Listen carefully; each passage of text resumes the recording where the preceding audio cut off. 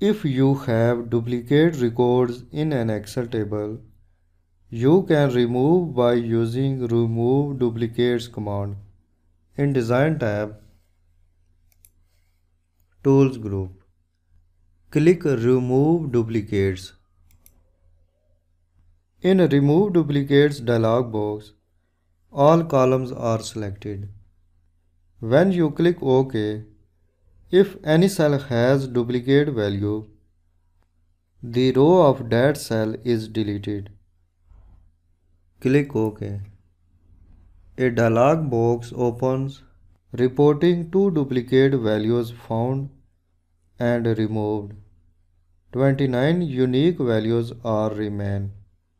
It means two rows are removed and 29 rows remain.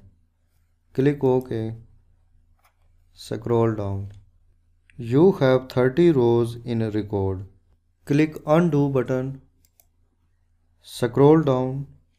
Now you have 32 rows in an Excel table record. You can also delete duplicate values in data tab. Click data tab. In data tools group, click remove duplicate icon. Unselect all. Check first name box. Click OK. Dialog box shows 4 cells of first column are removed. 4 rows of that cell are deleted.